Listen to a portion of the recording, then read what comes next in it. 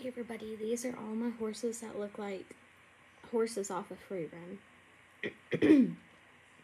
On the very left is Bob. On that side, um, I forgot that one name. And then Elvis, Raven, and Firefly.